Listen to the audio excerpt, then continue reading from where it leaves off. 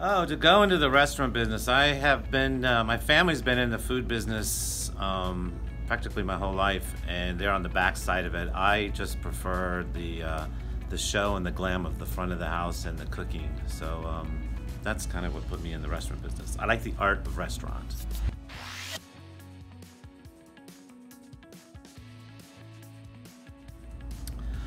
Scott's on Fifth. What makes it unique? Well, you, uh, for one, the decor and the ambiance. Um, when you walk in here, it's magical. It makes you smile. It makes you feel good, um, and our food is good too.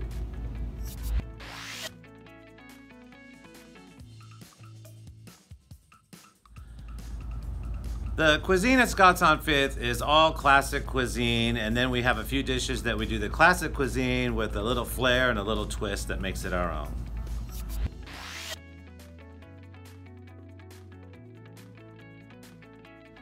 Secret guilty pleasure. Hmm. Tacos!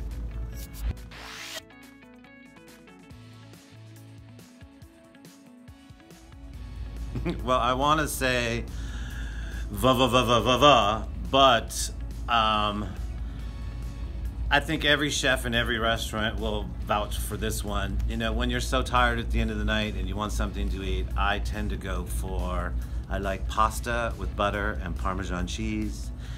And if you want to amp it up a little bit, add a little bit of cream and you have a little baby Alfredo without all the work. Sort of. That's comfort food.